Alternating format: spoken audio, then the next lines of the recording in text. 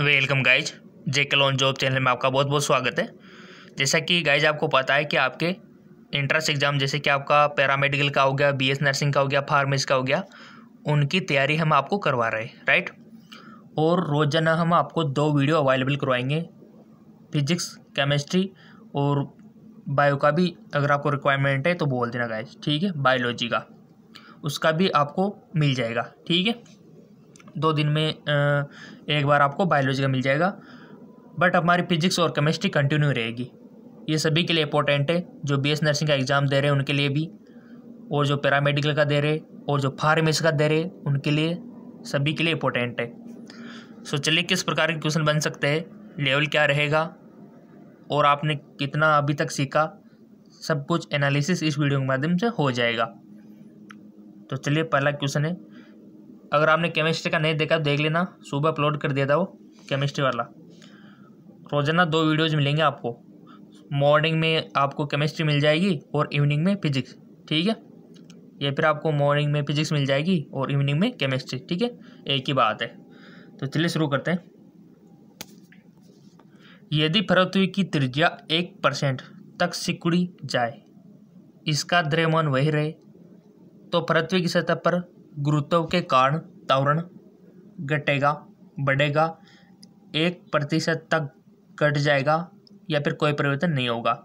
सो so guys यदि पृथ्वी की त्रिज्या एक परसेंट सिकुड़ जाए, ठीक है? कितना परसेंट? एक परसेंट सिकुड़ जाए। बट कंडीशन है कि द्रव्यमान वही रहना चाहिए। तो पृथ्वी की सतह पर गुरुत्व के कारण त्वरण पे क्या इफ़ेक्ट पड़ेगा? सिंपल सी बात है, बढ़ेगा त्वरण। एसेलरेशन बढ़ेगा। इंग्लिश में भी आप रीड कर सकते हो। दोनों लैंग्वेज में आपके लिए दिया हुआ है सुविधा के लिए, ताकि इंग्लिश मीडियम वालों को भी कोई दिक्कत ना हो, हिंदी मीडियम वालों को भी कोई दिक्कत ना हो। ठीक है? मेहनत करने के लिए हम तैयार है बट थोड़ा सा मेहनत आप भी करो। वीडियो को, सारे वीडियोज़ को देखो हमारे चैनल पर जितने भी है, बहुत अच्छे अच्छे गाइज़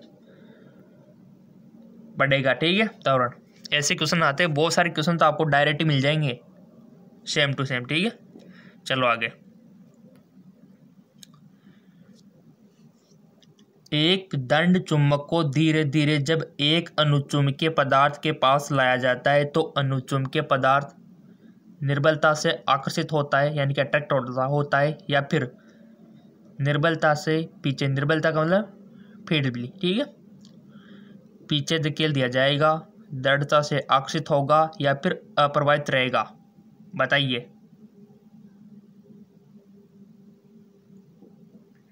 सिंपल। दंड चुंबक चुंबक वाला चैप्टर तो आएगा हंड्रेड परसेंट ये जो चुंबक है ना गाइज़ यहाँ से तो क्वेश्चन बनेगा बनेगा हंड्रेड परसेंट बनेगा. आपके ट्वेल्थ में है फिजिक्स में भौतिक विज्ञान में चुंबक वाला चैप्टर रीड कर लेना. इस प्रकार क्वेश्चन आएँगे वहाँ, अनुचुम के, पराचुम के, ठीक है? इसका राइट ऑप्शन हो जाएगा, निर्बलता से आकर्षित होगा. चलो जी आगे. उत्तल दर्पण एक आवर्धित प्रतिबिंब कब बनाता है? When does a convex mirror form a magnify images जब वस्तु एप पर होती है, जब वस्तु टू एप से परे होती है, जब वस्तु एप और आर के मध्य होती है, यह कभी भी आवर्धित प्रतिबिंब नहीं बनाता है। उत्तल दर्पण एक आवर्धित प्रतिबिंब कब बनाता है गाइस इसका आंसर हो जाएगा। अगर पहले पता है आपको तो टिक लगाओ। नहीं है तब भी लगाओ, ताकि आपको गलत फहमी दूर हो। इसका राइट ऑप्शन हो जाएगा आपका, यह कभी भी आवर्धित प्रतिबिंब नहीं बनाता है। ठीक है जी। ऐसे क्वेश्चन बनते हैं आपकी नॉलेज के चेक के लिए। अब बहुत सारे गाइज़ क्या करते हैं? बहुत सारे स्टूडेंट बहुत सारे तो ऐप से परे कर देते हैं टू ऐप के परे कर देते हैं। ये आपको नहीं करना, थोड़ा सा दिमाग लगाना है। चलो आगे। न्यूमेरिकल है। एम द्रव्यमान एक स्प्रिंग से लटकाया गया है, ठीक है?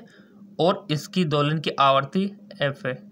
स्प्रिंग को दो बराबर हिस्सों में काट, काटा जाता है और समान द्रव्यमान को स्प्रिंग के दो टुकड़ों में एक से लटका दिया जाता है। द्रव्यमान के दोलन की आवृत्ति होगी, बहुत अच्छा क्वेश्चन स्प्रिंग मान लो कोई भी एम द्रव्यमान की, ठीक है?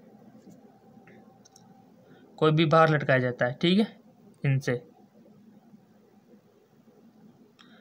कोई भी एम द्रव्यमान है, ये मान लो एम इसको स्प्रिंग से लटकाया जाता है। और इसकी दोलन क्या आवृत्ति एफ़ है? स्प्रिंग को दो बराबर हिस्सों में काटा जाता है। ये काट दिया इसको। एक हिस्सा है और एक हिस्सा है, ठीक है? और समान द्रव्यमान को स्प्रिंग के दो टुकड़ों में से एक से लटका दिया जाता है। ठीक है? द्रव्यमान के दोलन की आवर्ती होगी, बताइए। आवर्ती पे क्या इफ़ेक्ट पड़ेगा गाइस पढ़ा होगा ना आपने? क्योंकि आपके क्वेश्चन इलेवन से भी बन सकते हैं दो चार क्वेश्चन तो आपका फ़र्ज़ बनता है कि थोड़ा सा नॉलेज इलेवंथ का भी होना चाहिए। ज़्यादातर ट्वेल्थ से आएँगे बट कुछ क्वेश्चन इलेवंथ से भी आएँगे। इसका राइट ऑप्शन हो जाएगा गाइज़ आपका अंडर टू एफ़ ठीक है? आपके भी आ गया होगा आंसर देखिए गाइज़ फिजिक्स और केमिस्ट्री का तो यही फंडा है कि आपको फॉर्मूले नियम, जितने भी आपके प्रिंसिपल्स है, वो आपको पता होने चाहिए रूल्स वगैरह। जिसको ये पता है, वो आगे निकल जाएगा फिजिक्स और केमिस्ट्री में तो। न्यूमेरिकल में काम आता ही है। अदरवाइज़ थ्योरी तो आप वैसे कर सकते हो, अगर आपको पढ़ी होगी तो। लिफ्ट में खड़ा एक व्यक्ति तावरण एक के साथ ऊपर की ओर बढ़ रहा है। व्यक्ति का आभासी वज़न होगा। वास्तविक वज़न से कम, वास्तविक वज़न से अधिक एवं सतत परिवर्तनशील, शून्य, वास्तविक वज़न से अधिक एवं निश्चित मान के साथ। तो राइट ऑप्शन हो जाएगा आपका, वास्तविक वज़न से अधिक एवं निश्चित मान के साथ। वास्तविक मान से, वज़न से अधिक और निश्चित मान के साथ। चलो आगे। एक ट्रांजिस्टर के सामान्य एमीटर विन्यास में धारा लब्धि एक से अधिक है क्योंकि सिंपल से क्यों है गाइस बैकआउट ट्रांजिस्टर जानते हो ना? ट्रांजिस्टर ड्रायोड कैप्सिटेंस ट्रांजिस्टर जिसमें तीन तार होते हैं इस प्रकार का आता है एक डिवाइस देखा होगा आपने कभी? कभी कभी तो देखा होगा इस प्रकार का। कुछ कुछ ये ब्लैक ब्लैक सा होता है ऐसा कुछ। और थ्री वायर्स होते हैं उसको ट्रांजिस्टर बोलते हैं। इसका राइट ऑप्शन हो जाएगा आपका। ठीक है? ऑप्शन थर्ड वाला। चलो आगे। ये थोड़ा न्यूमेरिकल बड़ा है। ये देखिए। बीस किलोग्राम द्रव्यमान की एक गोलाकार गेंद, सौ मीटर ऊँचे पहाड़ी के शीर्ष पर स्थित है। यह नीचे, देखो, क्वेश्चन लंबा है इसका मतलब डरना मत। क्वेश्चन लंबा है तो मतलब ईजी है। बहुत सारी चीज़ें उन्होंने क्लियर कर दी। यह नीचे लुढ़कता हुआ ज़मीन पर एक चिकनी सतह पर आ जाता है। फिर तीस मीटर ऊँची एक और पहाड़ी पर चढ़ता है और अंत में ज़मीन से बीस मीटर की ऊंचाई पर एक से तीस आधार पर नीचे लुढ़कता है। गेंद द्वारा प्राप्त वेग दिया गया है। यहाँ पर जी का मान क्या रखना है आपको? Ten metre. सेकेंड यूनिवर्स और गेंद द्वारा लिया जाने वाला रास्ता घर्षण रहित है। तो बताइए।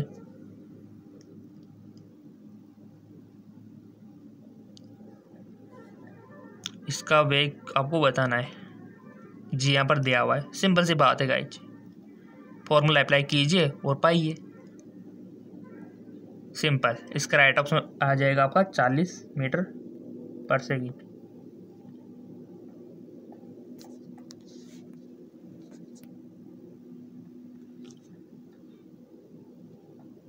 क्वांटम संख्या बढ़ने पर एक परमाणु के ऊर्जा स्तर पर, ऊर्जा स्तर का क्या होता है? क्वांटम संख्या बढ़ने पर एक परमाणु के ऊर्जा स्तर का क्या होता है? एक परमाणु का ऊर्जा स्तर स्थिर रहता है। एक परमाणु का ऊर्जा स्तर घटता है, एक परमाणु का ऊर्जा स्तर बढ़ता है या फिर निम्न परमाणु संख्या के लिए ऊर्जा स्तर और उच्च परमाणु संख्या के लिए वृद्धि। क्वांटम संख्या क्वेश्चन बन सकता है गाइज़ क्वांटम नंबर इसका राइट ऑप्शन हो जाएगा आपको। एक परमाणु का ऊर्जा स्तर घटता है, ठीक है? एक परमाणु का ऊर्जा स्तर घटता है। चलो आगे। घूर्णी गति संभव है। केवल दो या तीन विमीय गति में, केवल एक या दो विमीय गति में, केवल एक विमीय गति में, केवल तीन या एक विमीय गति में। सिंपल। केवल दो या तीन विमीय गति में। चलो आगे एग्ज़ाम नज़दीक है, इसलिए सारे क्वेश्चन इंपॉर्टेंट है। अगर आपका कोई भी टॉपिक छूट होगा तो यहाँ से आपको याद आ जाएगा कि हाँ ये तो मैंने पढ़ा ही नहीं। ठीक है? संवहन मुख्य रूप से इसमें नहीं होता है। एक बट्टी के चारों ओर हवा के तापन, फिलामेंट लैंप के गिलास को गर्म करने में, या फिर थलसमीर और जलसमीर, या फिर पानी के उबलने। संवहन मुख्य रूप से नहीं होता, यानी कि convection does not take place primary in इसका ऑप्शन हो जाएगा राइट फिलामेंट लैंप के गिलास को गर्म करने में, जो निर्वाचित किया गया है। इसका राइट ऑप्शन हो जाएगा। चलो जी आगे। सोलह किलोवाट वाला एक इलेक्ट्रिक हीटर पानी में डुबाया जाता है। पानी के 100 डिग्री सेंटीग्रेड के स्थिर तापमान तक पहुँचने के बाद 100 डिग्री पर 200 ग्राम वाष्प का निर्माण करने के लिए लिया गया एलवाप यानी कि पाँच सौ चालीस किलोग्राम है। तो इसका राइट ऑप्शन क्या होगा? फॉर्मूला अप्लाई कीजिए आंसर पाइए। सो इसका राइट ऑप्शन हो जाएगा आपका दो सौ दस। चलो आगे।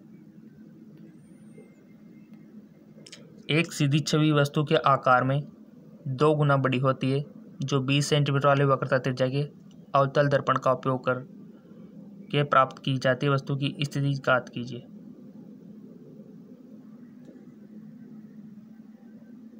क्वेश्चन को समझो कि एक सीधी छवि वस्तु के आकार से दो गुना बड़ी होती है, जो 20 सेमी वाले वक्रता त्रिज्या के अवतल दर्पण का उपयोग करके प्राप्त की जाती है। वस्तु की स्थिति ज्ञात कीजिए।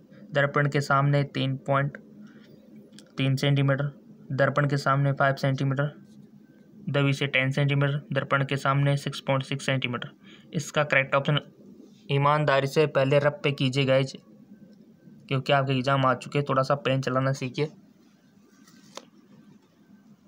आई होप आपने रब पे किया होगा इसको थोड़ा सा। और उसके बाद आंसर मैच करवाया होगा तो आपका आंसर यही आया होगा दर्पण के सामने फाइव सेंटीमीटर की दूरी पर। नहीं आया तो आप फेसबुक इंस्टाग्राम पे बता सकते हो हमें। ठीक है? कि ये क्वेश्चन हमें समझ में नहीं आया, बताइए। दर्पण के सामने पाँच सेंटीमीटर की दूरी। वैसे आ जाएगा फॉर्मूला अप्लाई करते हैं आपको।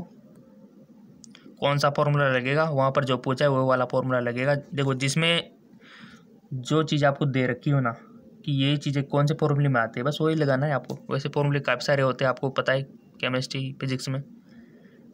बट कौन कौन सी चीज़ें आपको दी गई है? अगर नए दे रखी है तो किस तरह हमको मिल सकती है? फिर वो फॉर्मूला लगाओ। ठीक है? यही होता है आपसे। चलो आगे।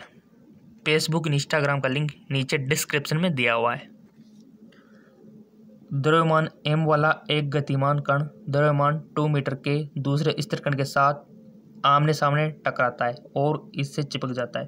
टक्कर के बाद एम द्रव्यमान में प्रारंभिक गतिशील ऊर्जा की कितने हंस की हानि होगी? Four by three eighteen by nineteen eight by nine nine by eight इसका करेक्ट ऑप्शन हो जाएगा आपका। आप इसको करोगे तो आ जाएगा आपका भी आंसर एट बाई नाइन ठीक है? चलो जी आगे।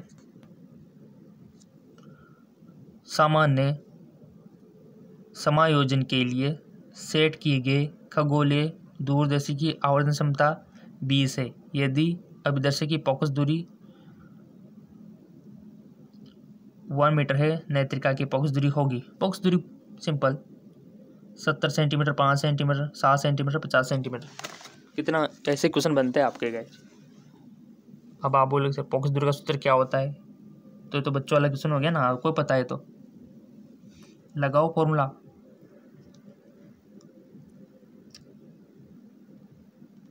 इसका राइट ऑप्शन हो जाएगा आपका पाँच सेंटीमीटर ठीक है? क्वेश्चन मिलते रहेंगे लाइक अब मिलते रहेंगे तो आपको भी क्वेश्चन मिलते रहेंगे। उसमें कौन सी शक की बात है? और ये भी क्वेश्चन कम लग रहे हो तो एक और चैनल है जी के एम सी क्यू एम के यहाँ पर भी आप फिजिक्स केमिस्ट्री बायोलॉजी के क्वेश्चन पा सकते हो रोज़ाना। इसका लिंक नीचे दिया हुआ डिस्क्रिप्शन में। ये भी हमारा ही चैनल ठीक है? यहाँ पर भी आपको मिल जाएँगे क्वेश्चन रोज़ाना। टेन सेंटीमीटर और माइनस ट्वेंटी सेंटीमीटर फोकस लंबाई वाले दो लेंस संपर्क में रखे हैं। अनंत पर रखी वस्तु का प्रतिबिंब दूरी पर समायोजन द्वारा निर्मित होगा। कितनी दूरी पर?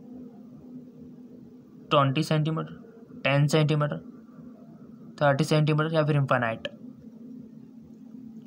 क्या होगा आंसर इसका गाइज़ आपको बताने ताकि आपका माइंड भी तो काम करे ना। अगर हम ही इसको रीड करके, हम ही इसका ऑप्शन बोल के, हम ही आंसर फॉर्मूले सब कुछ दे देंगे तो आपका माइंड काम करना बंद कर देता है ऐसी कंडीशन में।